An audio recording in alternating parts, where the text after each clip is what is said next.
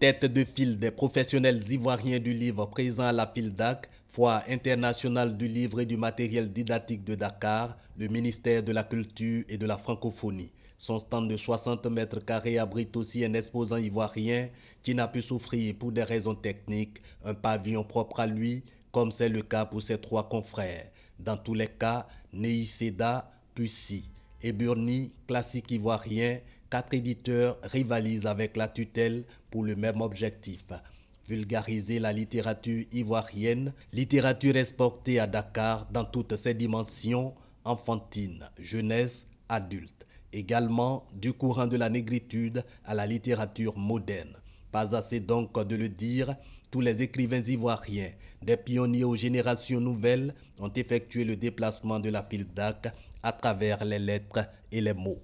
Physiquement aussi pour certains, Charles Nokan, Isaïe Biton Koulibaly, Josette Bondio, Fatou Keita, Charles Peumont, Fousseni Diabaté, Henri Nkumo, Maurice Bandama. Chacun y va de son imagination, aussi fertile qu'en témoigne la diversité de ses œuvres pour attirer le public. Mais la participation de notre pays à la 14e FILDAC est-elle un succès?